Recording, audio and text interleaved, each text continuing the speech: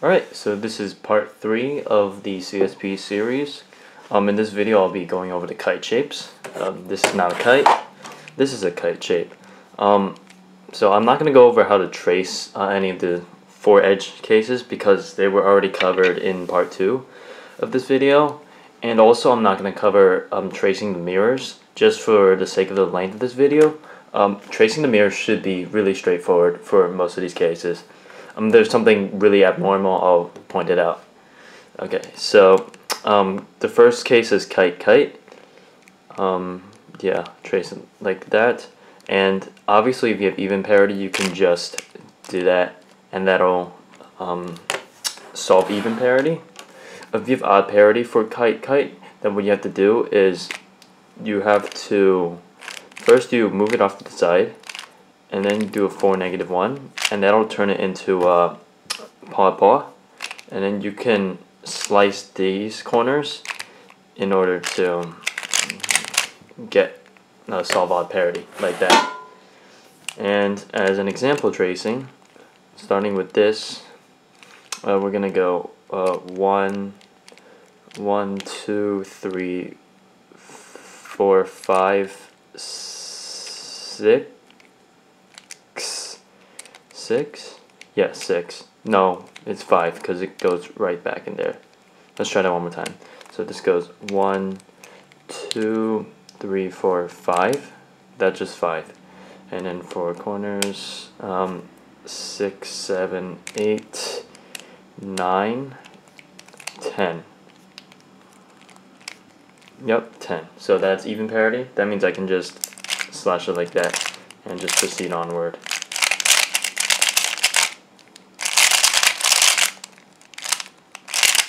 Yep.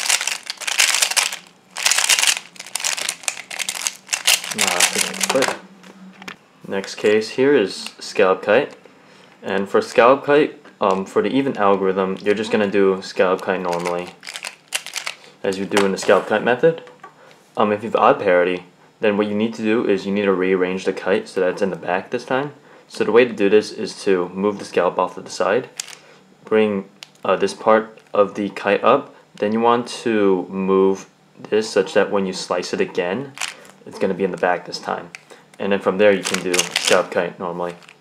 Now that method is pretty important in doing um, cube shape for a lot of cases because it uses the same exact thing. So I'll do an example trace for this.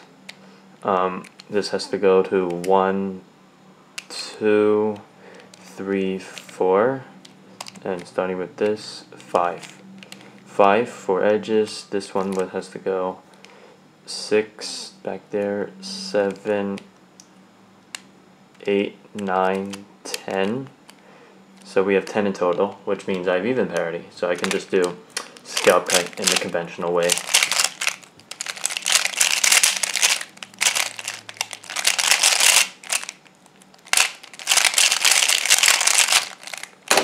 Yep. Next off we have barrel kite. Okay, so in this case, if you have even parity, then you can just do um, the even parity just like that with the standard 3 slice. And if you have odd parity on the other hand, uh, what you want to do is first you want to slice like that and then you want to turn this into pawn pawn paw paw um, so that you can uh, shift around these corners. And then from there, solving that should be relatively straightforward. So let's do an example trace. Um, so I'm gonna start with this as the black red. So let's go one, one, two, uh, three, four, five back there, five. So starting with this six, seven, eight, 9, no, 9, 10. 10, so I have even parity. So I would just do barrel kite the normal way, like that.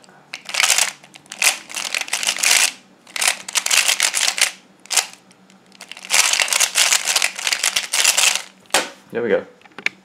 Next up we have shield kite. So the way you can distinguish between even odd parity of an algorithm is for even parity, you're going to do the standard shield kite um, solving method with the kite in the back, like this. So you would be doing this. And for odd parity, you're gonna you're gonna want to put the kite in the front, like that, and then solve like that.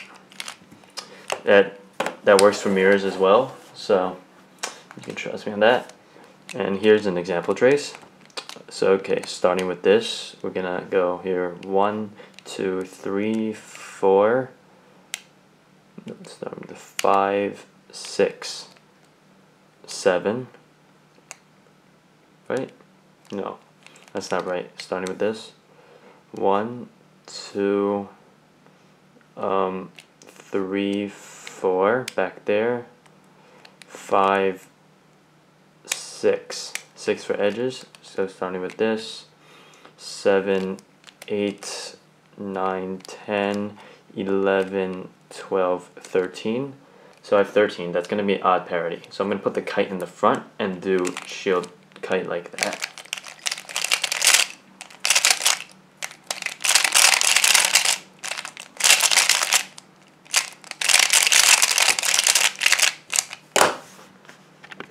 So the next case we have here is a muffin kite.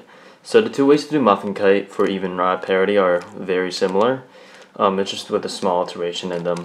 So they both begin with turning it into shield barrel like this, but the way you proceed from here is make, a make a difference. So for even parity, you want to put this two grouping in the front like that, and then do shield shield normally like that. For odd parity, you want to put this two grouping in the back, like this. Like so. So as an example trace, starting with this edge, we're going to go to um, one, two, three, four, five, six, seven. Um, for corners, um, eight right here, nine back there. 10 11 12 so I have 12 in total which means I am going to do the even parity which involves putting this two grouping in the front.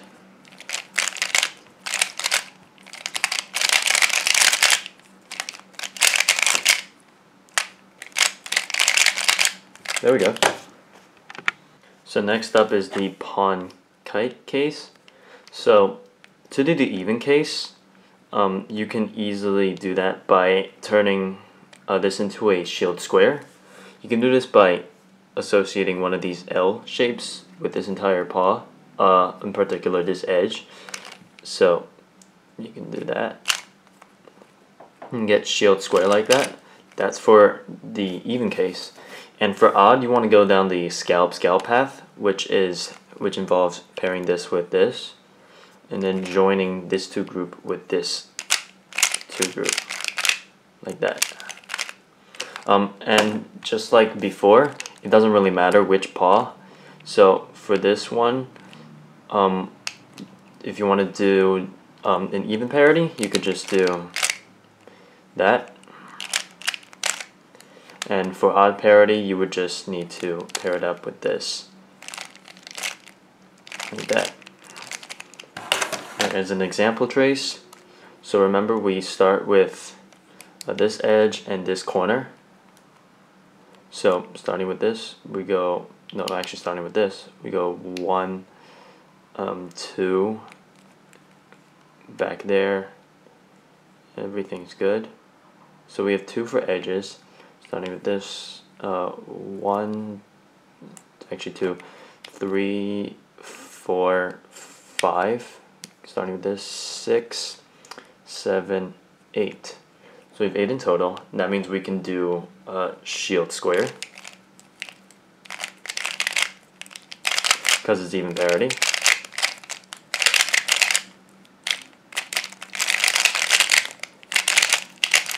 But yeah. Alright, and the last case we'll go over is fist kite. So fist kite is a little hard to explain but I'll try and give you the general gist.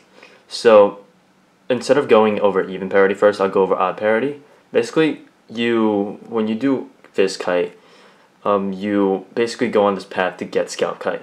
There's two ways you can do that. Um, one way is by doing this like two gen algorithm where you only move this and this slice move and this up layer. So you would do that. Notice how I didn't move the D move D layer at all. And then get scallop kite like that. Basically that is the odd parity algorithm. And if you wanted to do in the even parity algorithm, you would start off with the same thing, but instead you would do it such that you move the D layer like that and get scallop kite from there. We can do the same thing for fist. Um, direction of the fist um, doesn't matter. Actually, not direction, the chirality of the fist. So, if we wanted to do even parity, we would move the D layer like this and get scallop kite like that. And if we wanted odd parity, we would not move the D layer at all and just get scallop kite like that. So as an example, um, I'm gonna start with this. So just go one, two, three, four, starting here, five. So five for edges, uh, six, um, back here, seven, eight, nine, nine back there, and ten. So I have ten in total, which means I have even parity. Um, which means I have to do the one where uh, one of the faces is turned. So what I would do probably in this case is flip it over like this and then do the sequence of moves. Remember, since it's even parity, I have to move the D layer when making scallop kite.